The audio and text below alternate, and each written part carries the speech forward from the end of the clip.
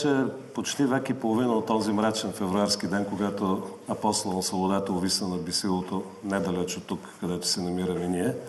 Но като че ли това време не е достатъчно и споровете сред историци и специалисти от различни области а, продължават да съществуват такива спорове. От тази гледна точка си мисля, че тази вечер, тази беседа, дебат, разговор, който отваряме около книгата юридически поглед към процеса на Васил Дякон Левски от Маргарита Златарева ще бъде много полезен и за всички нас. Добър вечер вече и от студиото на История БГ. Тази дискусия се състоя преди 12 дни. Решихме да я обогатим, като поканихме, освен гостите, някои от гости, които вече видяхте, а именно доцент доктор Маргарита Златарева, висш конституционен съдия и преподавател по право. Добър вечер. Също така да уточня, да уточня много важно и член на управителна съвет на Фундация Василевски. Професор доктор Пламен Павлов, който е преподавател в Великотърновския университет и председател на Фундация Василевски. И поканихме и още двама души, които не присъстваха на тази дискусия, именно професор доктор Пламен Митев, преподавател в Софийския университет Свети Климент Охридски. Добър вечер. Добър вечер. И главният редактор на издателска къща Села, която издаде, впрочем, тази книга, и писател. Разбира се, да не забравяме Захари Карабашев. Добър вечер. Добър вечер. Казвам добър вечер и на публиката ни, която е на живо тук. Това са учениците от 32-та гимназия и Национална стопанска гимназия. Надявам се, че ще бъдете активни, както вие в студиото на живо, така и вие пред екраните или пред компютрите, тъй като има много хубави награди. А от издателство Сиела ще можете да получите книгата на госпожа Златарева «Юридически поглед към процеса на Васил Дякон Левски», която и конкретно е повод за тази вечершна дискусия. А от издателство Изток-Запад, първи и втори том Васил Левски от Димитър Страшимиров и Васил Левски от професор Николай Генчев. бъдете активни, Както винаги ви призовавам, пишете на български, пишете грамотно и когато пишете, надявам се, че няма да се излагате, както някои се изложиха по време на поклонението пред паметника на Васил Левски. Така че запазете достоинство. Ние ще започнем, както обикновено, с нашия обичаен кратък въпрос. Възможно ли е днес да говорим безпристрастно, без голяма доза емоции, чисто научно, ако щете, за обстоятелства, обстоятелствата около залавянето и самия процес на Васил Левски и необходимо ли е най-вече? Мисля, че е желателно да говорим еднозначно за Васил Левски. В край на края ще сме в 21 век. А, не можем съвсем без емоции, тъй като на този терен се говорят какви ли не нелепости, отправят се всевъзможни клевети дори по адрес на Левски. От друга страна, аз съм емоционален човек и не, не, не мога и по друг начин. Не е необходимо да бягам от своето пристрастие, като всички българи, особено когато става дума за име като Васил Левски, но това не означава, че не можем да бъдем обективни, когато четем документите и книгата на доцент Златарова е ярко доказателство за това. Господа, ще задам същия въпрос и на вас. Вие не бяхте на тази дискусия, за да започнем с вас, професор Митев. Възможно ли е да говорим наистина хладнокръвно, обективно и не чак толкова емоционално, или това е невъзможно, когато става въпрос за Василевски? По принцип е възможно, но въпросът е дали го искаме. Аз се опасявам, че особено в нашата професионална гилдия безпристрастното говорене е невъзможно, защото десетилетия са се наслоили разни спорове, които привличат много емоции, много страсти и всъщност всяко поколение изследователи на делото и живота на апостола се сблъсква с преодоляването на това, което като страсти е съществувало в нашата гилдия. Не е възможно. Безспорно и не само в вашата гилдия, както ще стане въпрос в разговора по-нататък, предполагам, те започват веднага буквално веднага след процеса и обесването на Селевски. За съжаление е така, но и безпристрастното говорене е невъзможно и по още една причина както се видя последните дни, появяват се и нови документи, които да. хвърлят нова светлина и които предизвикват още по-сериозни дебати върху особено тези драматични дни от есента на 1872 година, които са свързани с е, залавянето и осъждането на апостола. Господин Карабишлев. Моята, моята работа е да съм емоционален, така че за мен е невъзможно и ненужно да съм а, без, безпристрастен, да съм неемоционален, но това пък не ми пречи да съм изключително щателен и внимателен, когато чета документите и изворите. Аз, за разлика от много историци, много обичам да чета извори. И за мен това е най-интересното и най-предизвикащото страсти, емоции, занимание, когато се занимавам с а, Левски. Слава Богу, такива историци нямаме тук тази вечер. Да, а, в никакъв случай не може да кажем, че е безпристрастен или му липсва емоция и на Захари Стоянов. Посред възпяването на генералските еполети, посред френетическите ура и проливането на горещи сълзи над чужди гробове и величия, не би било зле, ако тук-там се мяркаше и нещо за нашите работи, за нашите хора. Най-после и ние сме народ, Боже мой, и ние имаме национален егоизъм, човеческо достоинство, което трябва да тържествува над чуждите авторитети, да ни характеризира като народ, а не като безсъзнателна, самоунищожаваща се тълпа. Да, силни емоционални думи. Но, ние сега ще се опитаме да погледнем към а, тази тема а, не чак толкова емоционално и толкова крайно. Професор Митев, с вас а, бих искал да започна. Как може да оценим тази ситуация именно при вече към 71-72 година Левски Знае се, че има един такъв организатор. Знае се, че този човек той е преследван. Навсякъде има тайни агенти, които го издирват. Има награда за него. Какво точно се случва в тези последни драматични една-две години? Случват се няколко много важни неща.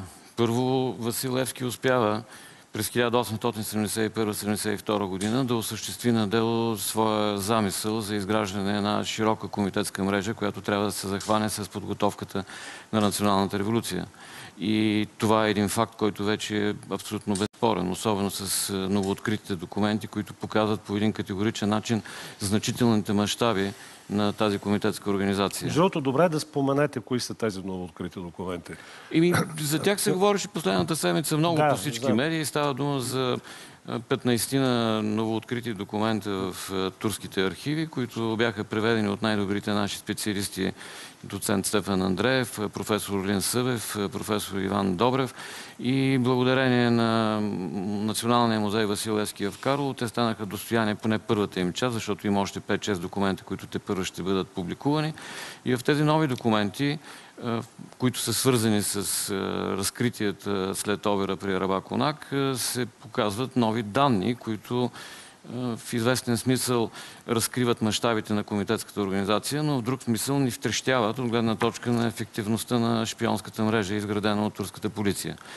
Така че е, ние разполагаме с достатъчно доказателства за успехите, които Васил Левски е постигнал при изграждането на тази комитетска организация, нещо, което не може по никакъв начин да се отрече, благодарение най-вече на да. неговите усилия. Но, за съжаление, особено в месеци след общото събрание в Букуреш, е, става дума за юли, август, септември месец, очевидно започва да се случват е, серия от е, събития и обстоятелства, които подготвят почвата за масовите разкрития, които ще се направят през следващите месеци. За сега разговора, който водеха историците, се подчиняваше на една логика. До обира на турската почта при Рабаконак. Турските власти не знаят нищо за комитетската И изведнъж някак си Започват да залавят е, извършителите и особено след залавянето на Димитър Овче, който прави пълни признания, те научават всичко и за Левски, и за комитетската организация, и за Централния комитет Букуреш, кои са главните фигури, как действат, какви са техните планове и така нататък. Новите документи по категоричен начин показват, че всъщност много преди да се извърши овера, месец септември 1872 година, турските власти имат пълна информация за състава на Ловешкия революционен комитет. Това е бившият централен комитет във вътрешността на страната. За това кой е Левски, какво прави, какви са неговите планове, какъв е плана на Централния комитет, как се набират пари да се купи оръжие, да се подготви всенародно възстание. Поименно се изборяват чинове на комитетите в е, Урхане, Ботевградско, днешно е, Тетевен, Етрополско, Плевен, Ловеч което показва, че наистина ние трябва да пренапишем по друг начин целият този разказ за тези драматични месеци. Да, професор Павлов. Само искам да допълня, че колегата Пламен Митев също от управителния съвет на фундация Васил Левски. Една А, организация, която на чисто така обществени начала се опитва да поддържа паметта, където имаме много голяма подкрепа от Карлово, от Ловеч и разбира се от много други хора. Но специално искам да сме, спомена така ролята на господин Стойл Карагенски, заместник мет на Карлово и заместник шеф на фундацията, който е двигателя на нашите инициативи, макар и поради скромните ни възможности да не са кой знае колко големи.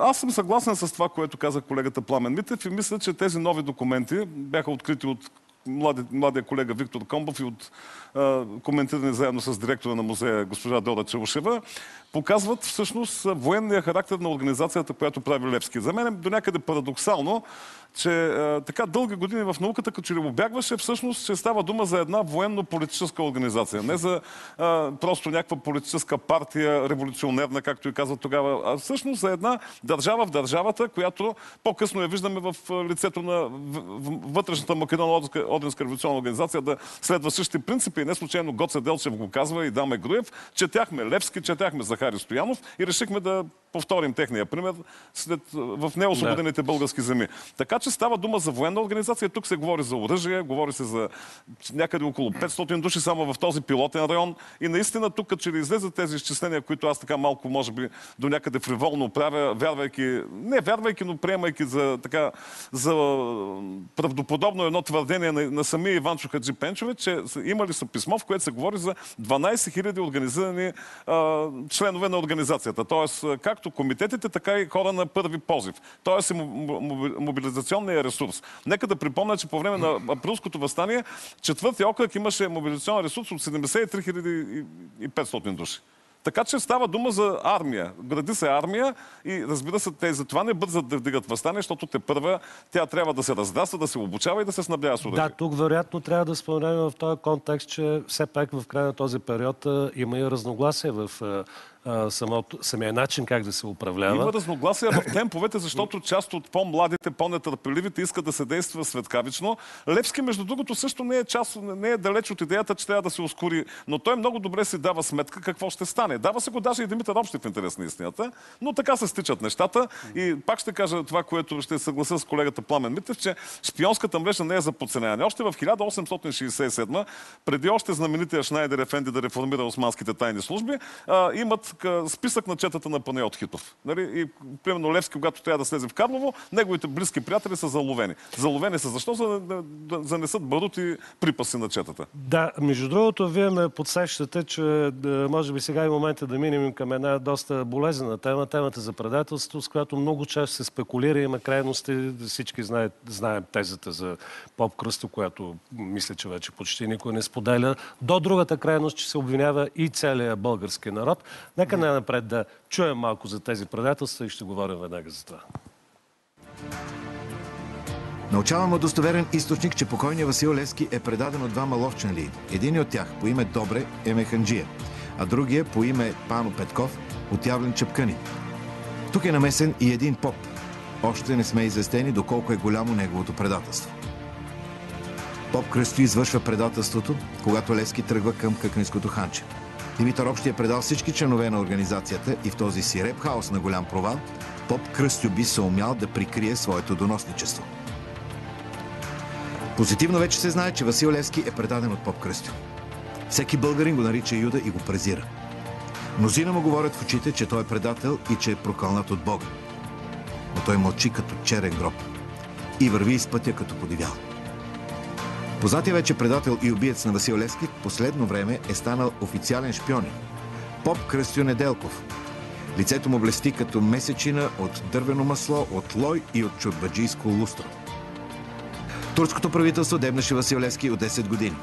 главата на апостола е била оценена и продадена за 10 000 гроша. Аз не мога да се произнеса, че поп Кръстю е предателят на Левски. След освобождението в квартирата ми дойде същия поп. И със сълзи ми разказа, че не той е предал Васил Да, тази теза лансирана, може би за първ път, поправете ме ако лъжа от Любен Каравелов, тя е подета, тя е повторена и от Ботев, и от Вазов. Тя става изключително популярна. В един момент дори беше използвана и от една определена власт като репресия срещу свещеничеството. Доцент Затарева, вие, когато изучавахте целият масив от данни около а, процеса, а, някъде намерихте или някъде споменали какво е вашето мнение за предателство има ли въобще срещу Левски в този момент? Въпросът за предателството и а, конкретно за а, набедения Поп Кръстю не съм а, разглеждала, защото смятам, че това са факти за историците. А, но а, мис, мисля, че процеса на Левски е останал в сянка сред изследователските а, учебници и материали, защото всеки, който започва да чете протоколите, леко се стресва протоколите от процеса. Там наистина в началото всеки говори. Говори с имена, с дати и това създава известно неудобство на българския дух. Безспорно. господин Карабашев. За мен тази тема е изключително интересна. сега тази вечер ще разглеждаме нещата с, през монокола на юридическата, през юридическия монокол, нека да го кажем. Не, така ще ги разглежда доцент Златарева. Да. Вие ще ги разглеждате по се... Да. Uh, но ако, ако оставим този монокол на страна и така погледнем с просто кой въоръжени с uh, информацията, която имаме и с uh, просто здравия разум, ние виждаме следното, което никои нови документи не, не биха могли да успорят.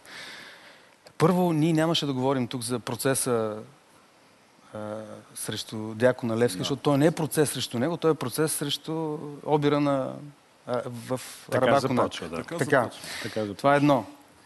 А, второ, нямаше да говорим, ако този обир, първо, той е незаконен, такъв неуставен обир, не авторизиран от, от Левски, нито от БРЦК, а, направена наистина на своя глава от от общи и няколко... Не само.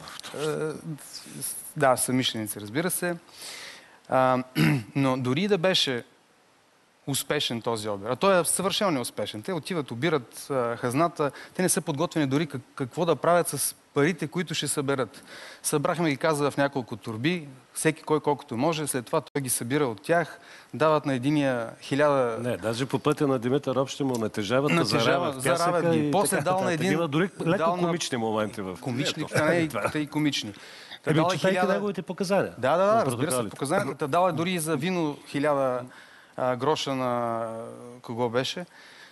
На друг да купи коне. Той каза, ще, ще, ще да ми ги върне после.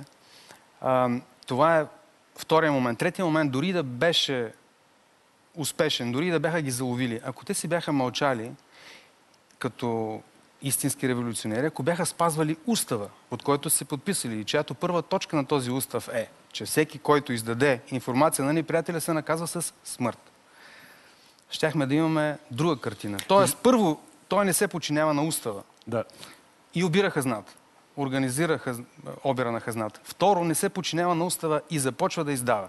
Значи най-голямото, най-масовото предателство в тогавашната история на България се е, осъществява не заради Поп Кръстю, а заради Димитър Общи, който не просто, не просто предава, той, той насърчава всички останали, под кокороса всички останали да предават и той предава всъщност цялата организация, идеята, а, комитетите, дещо знае с имена. Професор Павлов. Аз искам също. Да, добре. Професор... Още е, първите изследователи на Василевски, т.е. историци, считат, че това е тезата на Димитър Общи е в множеството, колкото повече предава, Всичко колкото знаем, повече говори, а, той а, иска да популяризира делото, което вече съществува. Комитетска мрежа, оръжие, желанието на българите за а, политическа Въпросът е защо ние като а, българи, като Това историци... нарочно го е правил той. Да, въпросът е от кога това е, е добре. Така, момент, Тоест, момент, аз... той е нарочно. Това действително е казано, има такава теза. Да, Обаче аз ще е задам въпроса, теза. доцент Затарев, ще задам следния въпрос. А, ако той го казва пред тези 6 члена, пред Девет. които... а, Девет, добре, пред които е изправен, а, той с какво, какво си мисли? Тогава няма мас-медии. Това няма да се чуе от останалите хора. Е това няма верно. как да излезе. Не е верно. А Процесът се следи съвсем подробно от дипломатическите представители Консулите в българските земи, консулите, които най-вече се намират в Дунавския вилет и те предават на своите посланници в Цариград или на своите държави. Имате предвид, че преписи, от- преписи от тези протоколи са стигнали до тях. Това ами да, да, да. Те преписите а, се, а, веднага се правят по наставлението на Алиса и Паша, на председателя. Знам, на, да. А, и ми следи се по някакъв начин, но изобилства а, мо- моите източници с писма и телеграми и доклади на консулите по българските земи какво се случва в София в процеса. Найденгеров го пише в писмото си, че Димитър Общи издава всичко и всички Да. с цел уж Е, да е целта, да. пропагандира Това е а, ос- освобождението. Но истината е, че той... Ако позволите, аз ще се върна с а, няколко реплики а, към отговорите, които току-що бяха дадени на вашите въпроси. Първо, а, ако ние погледнем на миналото, което се е случило само през протоколите, няма да добием точна представа как всъщност са извлечени тези показания. Ние забравяме, че в протокола няма да пише колко бой са яли тези, които са били арестувани. Но ние знаем много добре в спомените на всички тези, които са върнали след а, освобождението от Дярбик или където са били изпратени на заточение, през какви изпитания са минали преди да започнат да правят признанията. Някакси този момент ние го забравяме. Второ, ние забравяме, а, че всъщност последните 30 на години в историческата наука бяха направени много сериозни приноси в ут- уточняване на редица детайли около идеята за обира. Отдавна, още професор Крумка Шарова по категоричен начин доказа преди повече от 30 години, че и Васил Левски и Ловешкият централен комитет знаят много добре какъв е плана за нападението на турската почта при Рабаконак и са дали своето предварително съгласие, включително и Левски. Въпросът е, че Левски поставя условие, ако се пристъпи към реализация на този план, много внимателно да се обмислят всички последици, така че да няма никакви негативи за комитетската организация. Аз бих успорил още една теза, че обира е бил калпаво извършен. В продължение на повече от 20 и косур дни, турската полиция не знае кой е извършител на обира. Димитър Общи подхожда много компетентно в подготовката на този обир. Той събира тази чета, извлича, кара ги да отидат в планината, да са далеч от селищата Да. си, обличат ги в турски дрехи, нали, на, дрехи на турски а, запасняци. А, само ятаци, двама, трима знаят къде си им носят храна. И не случайно първоначалната дира, по която тръгва Маскар Паша като а, следствие, е фалшива. Те търсят, и, и това се вижда от телеграмите, които са публикувани в а, досегашните документи. А ако добавим и новите штрихи, които извличаме от е, най-новите документи, аз вече споменах това нещо, турските власти знаят поименно целия Ловешки централен комитет. Защо да хвърляме вината изцяло върху Димитър Общи, който прави тези признания месец и половина по-късно и забравяме още нещо, което излиза от тия документи. Димитър Общи прави опит да самоубие.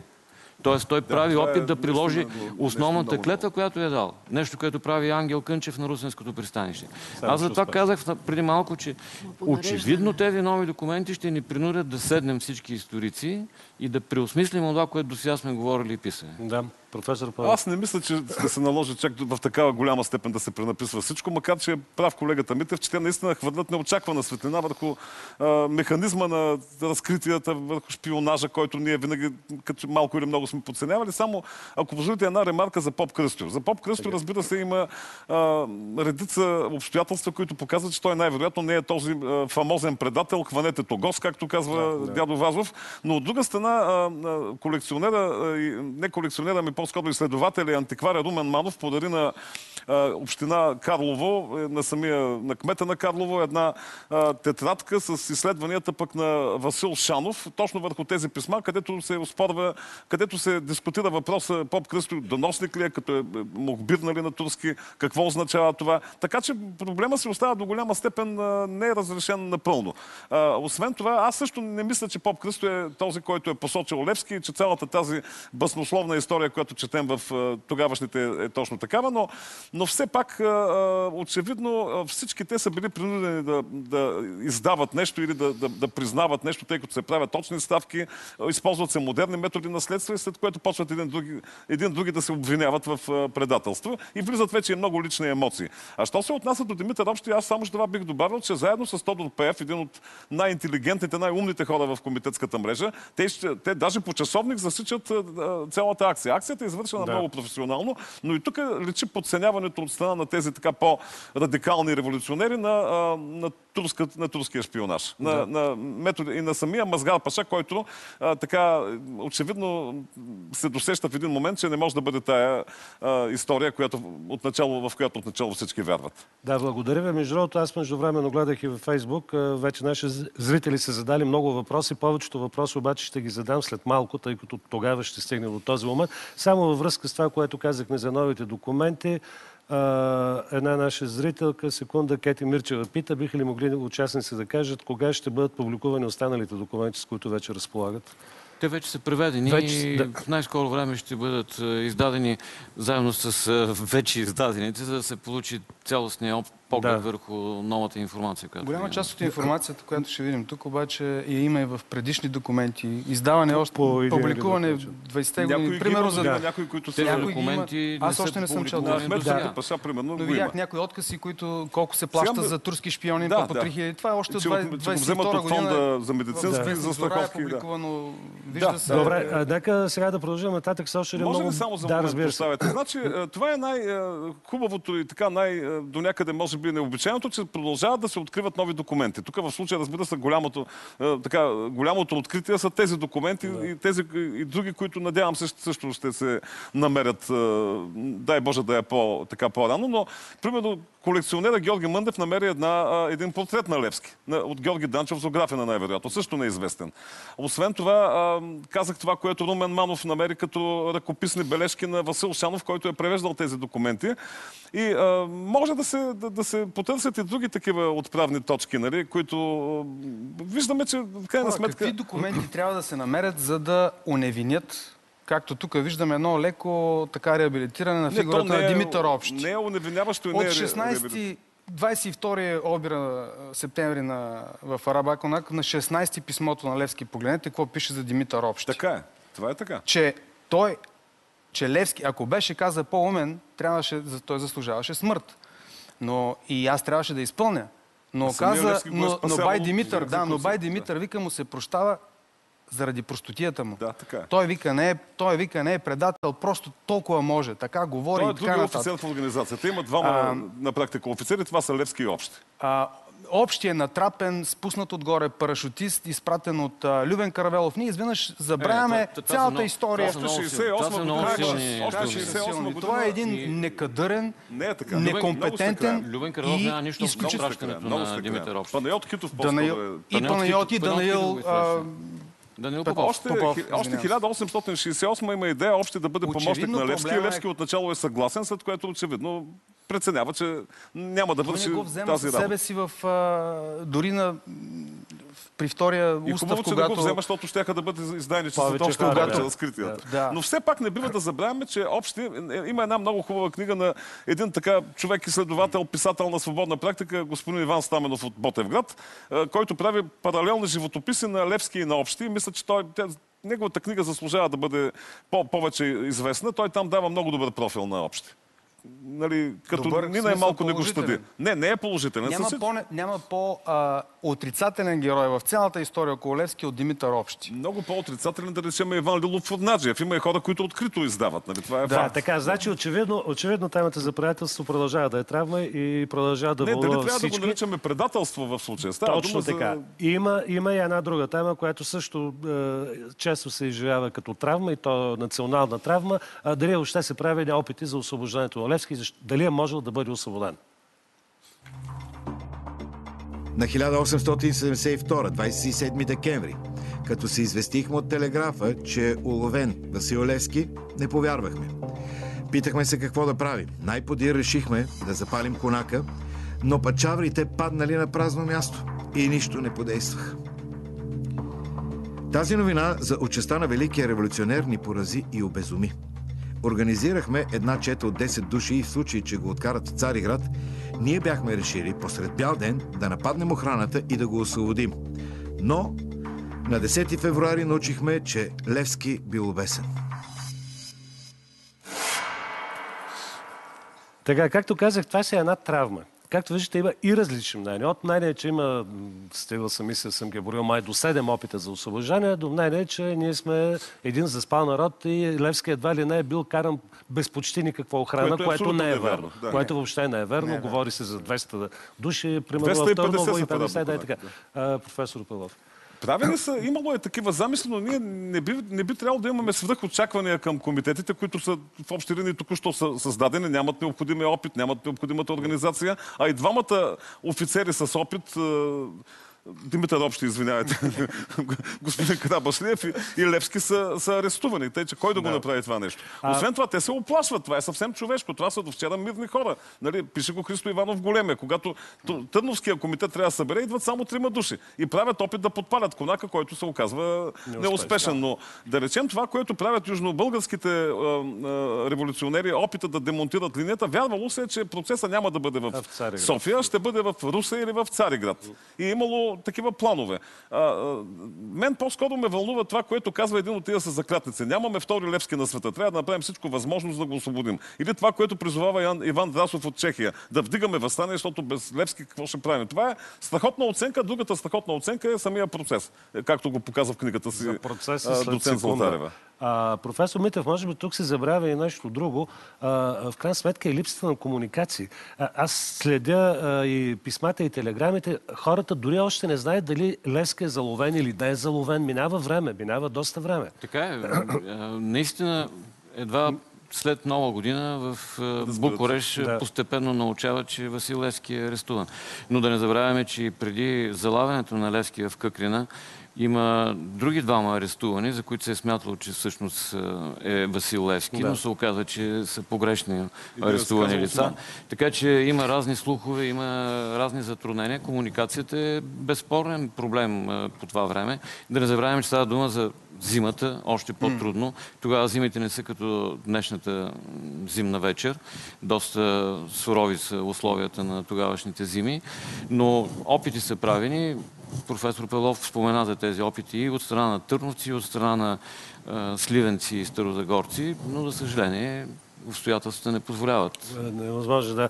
А, да, а, Все към пак, вас ще се обърна така реч. Ботевата чета е от малко повече от 200 души. В финалната отсечка 250 души в два бронирани шаркета, два, нещо като дилиджансите, от, които знаем от филмите уестърни.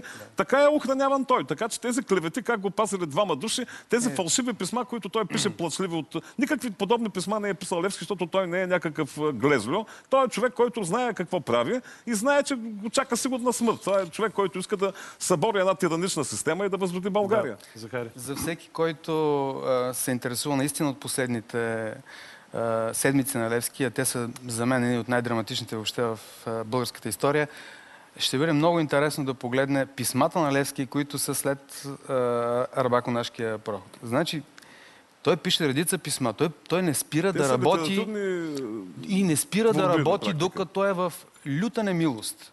Ясно е, че всички го търсят. Ясно е, че, че са го предали. Ясно е, че... А, И окоръжава своите и така. в тези писма. А има едно, в едно писмо той всъщност а, казва, че аз мога да, ние може и да ги освободим в София.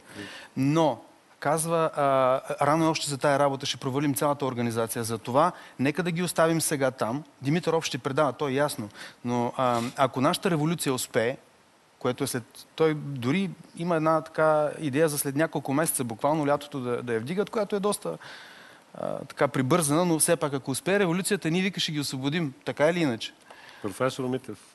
Но, Не сте напълно но не само, че Левски. Не, не, че не съм съгласен. По-скоро бих коригирал някои от тези по-общи рамки, които ни бяха очертани току-що. Защото в първото писмо на Любен Каравелов и Тодор Пеев от 30 октомври фактически се разпорежда централното ръководство на Левски да извърши Да стане. опит за освобождаване на арестуваните комитетски дейци. Но И новите документи, това е второто писмо от 1-2 ноември, но новите документи показват по един категоричен начин, че турските власти прихващат тези две писма преди да са пристигнали при Левски. Така че да не забравяме отново ролята на прословутите турски шпиони. да. Даже прихващат ги, правят копия и ги връщат на куриерите да, Да. ги носят, което трябва някъде да се разгадае тази е, цялата Превеждат- драма, тъй като... Превеждат ги на турски. Да, Те превеждат. ги, Превеждат да. и ги изпращат на Великия визир, за да може и той да се запознае с съдържанието на и при тези тях имало писма. някаква, а, Става някакво дума, несъответствие в комуникацията, защото пък прихващането му, има залавянето му, че а, някои, от, а, някои от нещата, които са се знаели благодарение на тези нови документи, а, не са били познати на, на следствието. Тоест не е като да, да са работили а, Добре, шпиони споменахте вече като ЦРУ и многократно- FBI. Нали Споменахте многократно следствието, споменахте процеса, очевидно отиваме вече нататък. Имаме и въпроси. Левски респектира турския съд със своята гордост и безстрашие. По време на цялото следствие, както и на процеса, Левски не е бил докоснат с пръст. Левски се явява в съда, наметнат с войнишки шинел, сякаш съдиите са искали да подчертаят, че ще съдят един войн, един рицар на духа и делото. Коста над главата, зад дясното му ухо е разрушена от куршум, който го е пробил при нещастното негово хващане. Той от ден на ден губеше съзнание, бълнуваше, раните му се възпалиха, цялата му глава оттече и лекарите предсказваха близкия му фатален край. Левски беше страшно измъчван.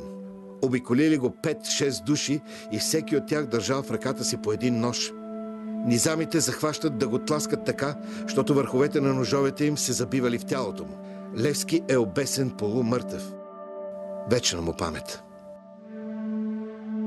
Наконец, изгубихме и най-добрия си българин. Така, доцент Златарева, вече отиваме в, към конкретиката, с която вие се занимахте и издадохте тая наистина забележителна и за мен лично много интересна книга. А, нека най-напред да тръгнем с изясняване на понятията, защото има голям спор. Какво е това? Извънредна комисия, следствие, съд? За какво иде реч в крайна сметка? Да, статута на специалната нарочна комисия всъщност е един от въпросите, които трябва да, се да съм изяснила в тази книга. А, след арабоконашкото нападение а, се възлага на Масхар Паша, който е софийски управител, защото Охрание а, вли- е каза а, околия към Да. Софийски окръг. Се възлага да започне полицейско-следствени действия, за да първо да намери извършители на обера, след това да се оказва, че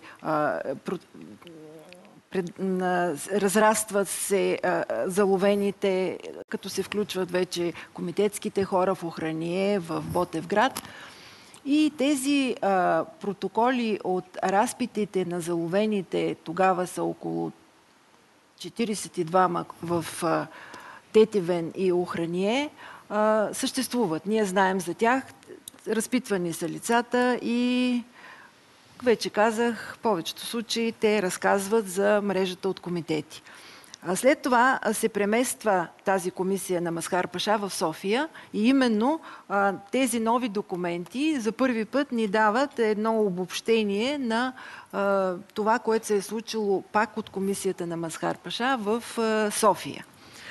А, интересно е, че това, което от новите документи ми направи силно впечатление, че Масхар Паша пише едно писмо до Високата порта, че а, той иска да впише, т.е. в протоколите, само тези лица, които са, виновни, които са си признали за виновни.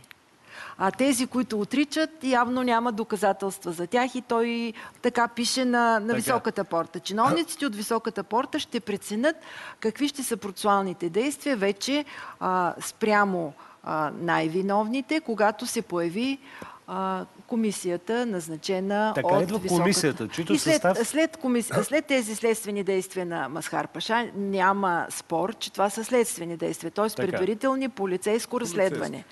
А, всеки протокол Те не издават и присъди. О, не, разбира се, в никакъв случай. това е важно да го уточним, защото тук да. е пълно с въпроси в интернет в момента, които засягат точно тази част. Но Не, те а, тук в новия документ се казва, бе така се ориентираха към 4-5 смъртни присъди се, се набелязаха. А, се очертават като съвременно изра- из- изразяване. А, но а, всеки от тези протоколи на предварителното следствие се докладва на Високата порта и на султана в Цариград.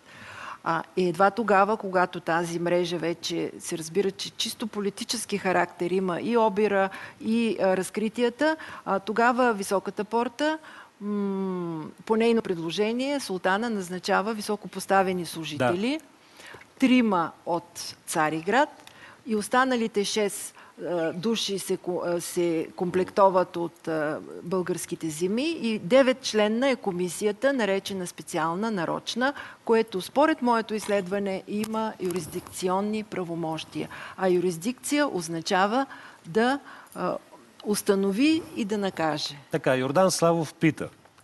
Имал е шанс Васил Левски да бъде защитен от юрист по време на процес също, а, срещу него? Въобще имало ли е подобна практика в Османската империя? А, изследвала съм много подробно османското право към 1872-73 година и установих, че понятието адвокат и защитник в наказателен процес не съществува до а, Закон за углавното производство, създаден 1879 година, т.е. 6 години след процеса. Конституция няма тогава Османската държава. Тя е създадена 3 години след процеса и там за първи път вече има глава съдебна власт, а, прокурор, някакви Да, такива безспорно. понятия съвременни Но се може ли само получават. едно уточнение да. Да. направим? По време на априлското възстание, Има на големите съдебни процеси, които се правят в Търново и в Русе, има адвокати на Да, арестуваните то комитет. вече е 76-та Да, година. 76-та нали, да. година, да. Така че към този момент ние, а, от тук се получават а, несъответствията между нас, юристите, че а, някои от моите колеги сравняват а, процеса на Васил Левски с съвременните понятия за едно наказателно производство. Което е, което е невъзможно с друг оглед на начин. съществуващите Да. закони тогава. Там а, въпрос имаше във връзка с а, процеса. Добър вечер. Да. Всъщност въпросът ми е свързан с процеса и по-точно с една личност от този процес. Каква е ролята на Хаджи Ванчо, Хаджи Пенчович в цялата работа на целият процес, Чудесно, свързан с да, Васил Левски? разбрах ви, разбрах ви. А, А, нека професор аз Мит, а, и да вие. кажа, да. А, Иван Чук Хаджи Пенчович е един от тримата назначени от султана по а, предложение на Високата порта. Той е член на Държавния съвет, член на Висшия съвет на правосъдието. Той е юрист, завършил в Париж право и е бил със студент или съквартирант, не мога да ви кажа, с предишния велик везир на, на Цариград, Митхат Митхат Паша. Митхат Паша, да. Митхат Паша. И оттам, може би, започва неговата администра... високо административно да, ниво. Да добавите, професор Митев? или Ох, към тази биография на Иван Чукаджи Пенчев могат много неща да се добавят. Със сигурност. Но а, по-скоро големият въпрос е как можем да оценим неговото поведение по време на следствието и решението, Предполагам, които че взима за и това беше зададен този въпрос. Ами, двояко. Има колеги, има историци, има много така публични личности, които защитават тезата, че Иван Чукаджи Пенчович е направил всичко възможно, за да спаси каквото може да спаси. Той самия е казвал, направих всичко. А, Да. Но има и обратното мнение. Че той изпълнява това, което му е заръчено от високата порта и той като много близък приятел, сътрудник, съидейник на Митхат Паша, прилага много коректно, ако мога така да се изразя, наказателния закон на Османската Да. империя. Искам да изразя моето а, ли- а, мнение като юрист. А всъщност комисията от 9 души на... И в комисията има още трима българи. Тези, които 6 души от, бълга... от българските земи а, са поравно мусулмани и християни. А в тази комисия нямаме данни единия да да иска да по-малко наказание или повече. Защо? Защото комисията работи по императорския наказателен закон, който е реципиран от Франция и който действа към онзи момент. А според този наказателен закон и според текстовете, които изрично са написани в заключителния акт от комисията, наречена присъда, три от деянията, за които Левски е осъден, са в глава първа престъпление против вътрешната безопасност на османската държава. Той е срещу държавата, срещу властта, срещу властта на султана. Там а, наказанието е смъртно наказание. Нали, а, предвиденото а, е, е смъртно Да, наказание. точно тук знаете, че има Така ваши че, опоненти, няма които не са съгласни да с тази говорим теза. за това, че единият бил по-добър от другия в тази комисия, специална нарочна комисия, която приемаме за юрис- юрисдикция. А, съпротивата срещу тази теза, че а, тези три текста предвиждат смъртно наказание, е тази, че а, текстовете са за под, а, подбуждане към въоръжено възстание, а, чрез писмени а, и устни а, сказки, пропаганди се внушава бунт срещу султана. Така. А, но ако а, възстанието е избухнало или поне е започнало. А, тези, които поддържат тезата, че не трябва Левски да бъде осъден по тия три текстове, казват, ма то възстанието не е избухнало. Така, Изрично, изрично в а, комисията мотивира защо приема тези три състава за съставомерни. Съставомерни значи да съответства установеното с закона. Тя казва купуване на оръжие, създаването на комитети, разпространяването на устава на БРЦК е вече начало на едно деяние, предвидено в закона. Значи, а, мотивите на комисията защо приема Така, тези тоест, текстове, закони. ние не можем да, а, да реагираме срещу това. Така, това е вътрешното отношение- убеждение на една юрисдикция, Така, което и, и в настоящето е така. За да отидем накратко, а, другата смъртна присъда се иска от а, а, срещу Левски за убийството на а, Чирака. Сега там веднага ви казвам какво казват ваши опоненти. Да. Те казват, че всъщност а, а, тази присъда не е състоятелна поради простата причина, че е нямало сл- следствие. Има само показания на един а, свидетел и той е заинтересован, защото участва в този обор. А, общо заето е в а, тази логика. има Какво хора, бихте реплики? отричат А, а, не, това. а, А Левски отрича напълно. Това в не е протоколите Левски отделна отрича. присъда, а това е четвъртия текст, Да, по четвъртия който текст, точно а, така, да. Левски е осъден на смърт. Отново на смърт, защото е политическо Само, убийство. че убийството а, в, според този османски наказателен закон се наказва с 15 години окови. И само ако убийството, не предпазливото убийство, а не предумишленото, е свързано с политически престъпления, които вече изборих, е. тогава се наказва със смърт.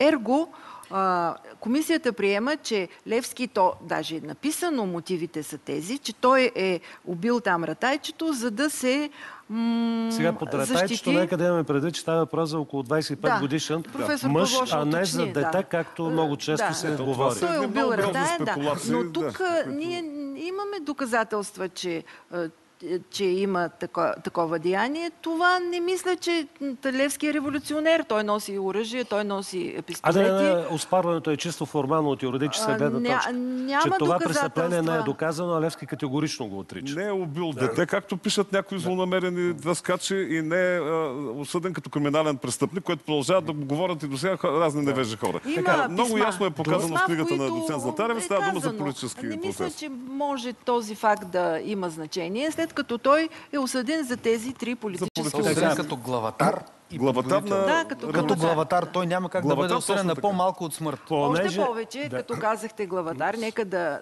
кажа, което на мен ми направи силно впечатление. Протоколите Левски не отрича, че е правил комитети. Той се гордее, че е главатар. Той не отрича, че трябва да обнадеждава народа. А, макар, че изключително дипломатично не издава никой, като съобщава лица, които са във Влашко и така нататък. Но той а, едва ли не признава за тези политически действия срещу султана. А знаете, във всеки национален закон наказателен, всяко действие срещу властта се наказва строго. Така, няма как да е, избегнем и още един е, въпрос, тъй като буквално изобилства е, форума в, е, в него. Става въпрос, е, повечето, даже директно се цитира и е, текстовете на е, колегата Янко Гечев. Е, каква има ли въобще, може ли да твърдим, че има намеса на царска Русия чрез личността на граф Игнатиев в този процес? Аз лично не намерих. Вие вашето мнение- Единственото, е, аз не намерих такава намеса, защото ви казах, комисията действа според наказателния закон. Единствено писма има сред дипломатическата поща, в които руския консул от... Найден, Найден не, Геров. не, не, не, не, не Найден Геров, а руския консул в Русе а, и граф Игнатиев, който е посланник в Цариград, приемат процеса за мним заговор, мним комитет, а, мнимо БРЦК и един Левски, който лъже народа едва ли не. Нали, те искат да изкарат, че нищо, никакво събитие не се е случило, никакви разкрития революционни а, и самостоятелни от гледна точка на българския народ са се случили. Това е всъщност. А, пък- имате ли нещо да допълните само по този въпрос, но накратко наистина ви умолявам. А, Нямате, не. Османската пропаганда е включила, включила тази, първоначално тази версия, че това е една конспирация, организирана от Сърбия и за нея стои Русия.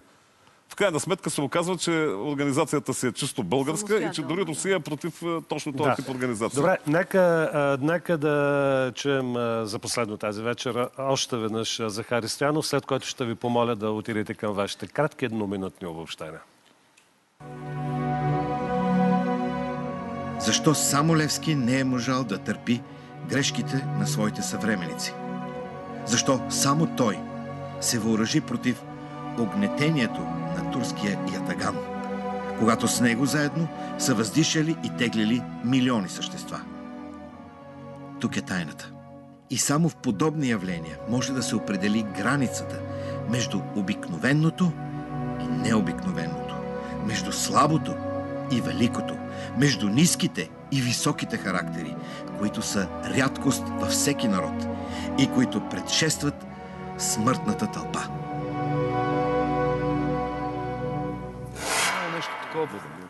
Доцент Златарева,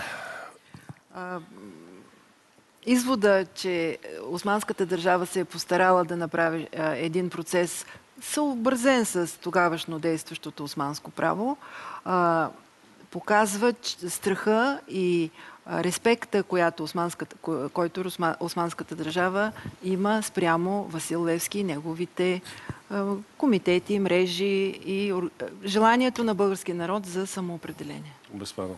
Професор Павлов. Левски гради армия и самия процес показва, в крайна сметка, шеф на председател на този съд или комисия е генерал, и то дивизионен генерал и председател на Държавния съвет.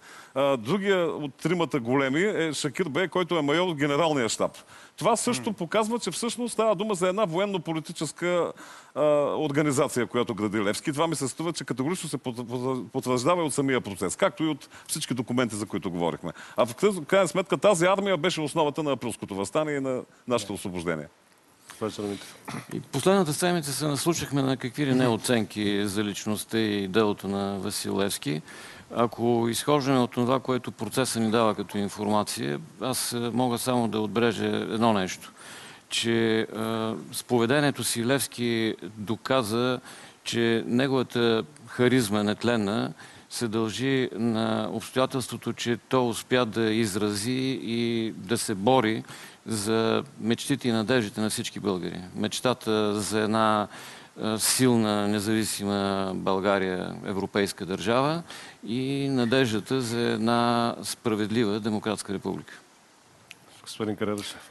Аз ще се върна малко на, на това, на опозицията Димитър Общи и Василевски, като ми се ще просто да общим като извод, че някакси двамата е, екстернализират или въплащават две, двете много сериозни начала на нашия български национален характер.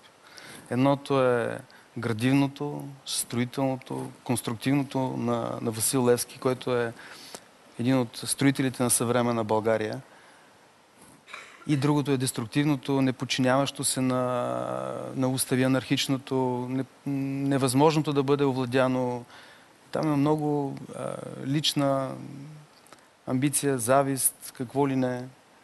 У Димитър Общи. И нека пропуснаме да го подчерта, подчертаем тази вечер, но Левски е грамотен човек, който комуникира много ясно своята визия. Той е визионер, строител на така, партиен политически строител, докато Димитър Общи е неграмотен. Той не може да, че, да пише и да чете. За това става въпрос в край на краищата. Невежеството срещу светлия идеал. Тежки думи, с които ме е трудно да не се съглася. За жалост този дуализъм а, наш очевидно ни преследва и сме осъдени да ни преследва до края на дните ни. Аз само ще ви презова, по-скоро изучавайте. Изучавайте и биографиите, изучавайте и тези от тях, които са писали и са оставили а, писмени следи след себе си. Изучавайте живота на тези велики българи, на които дължим всичко, вместо да се ги татуирате по телата. Приятна вечер, останете с програмата на БНТ 1.